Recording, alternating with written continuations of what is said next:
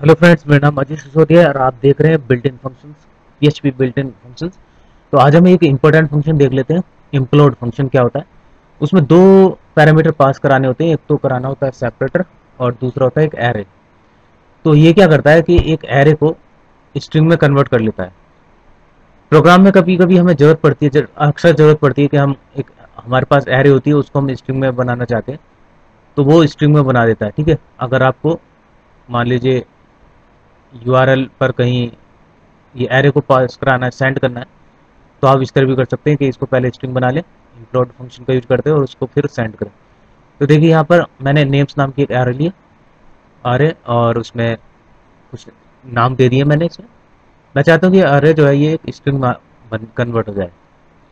तो मैं यहाँ एक वेरिएबल लेता हूँ I M P dollar I M P equal to और यहाँ मैं लिखूँगा इम्प्लॉड और इम्प्लोड फ़ंक्शन का यूज़ करूँगा और यहाँ मैं उसमें पास करूँगा एक सेपरेटर कि मैं जब स्ट्रिंग लूँ तो हर जैसी ये एरे की जो वैल्यूज़ हैं जब उसमें आए तो उसके बाद आप क्या शो करना चाहते हैं उसमें सेपरेटर की तरह?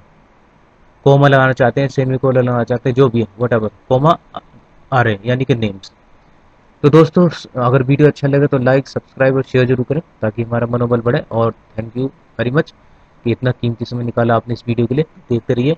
इम्प्लॉड फ़ंक्शन इको अब मैं इसको इको करा लेता हूँ। तो देखिए, ये स्ट्रिंग इसमें स्ट्रिंग में कन्वर्ट कर दिया है। जो पहले आपकी एरे थी नेम नेम्स नाम की एक आरे है, उसको, उसने स्ट्रिंग में कन्वर्ट कर दिया और सेपरेटर मतलब जो एरे की जो वैल्यू है, हर एरे की वैल्यू के बाद उसने कोमा यानी आप पे डिपेंड करता है। आप अगर ब्लैंक रखना चाहते हैं सेमी कोलर लगना चाहते हैं, या कोई भी सेपरेटर आप देना चाहते हैं सेपरेटर की जगह आप यूज़ करना चाहते हैं तो कर सकते हैं।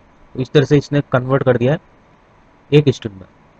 तो जब आप प्रोग्राम बनाएँगे तो उसमें बहुत ज़रूरत पड़ेगी कि आप किसी एरो को कहीं, अगर आप दूसरे पेज पर सेंड करना चाहते हैं यूआरएल के थ्रू तो आप इसको पहले स्ट्रिंग में कन्वर्ट कर लेंगे और उसके बाद सेंड करेंगे। तो और भी बहुत सारे काम होते हैं।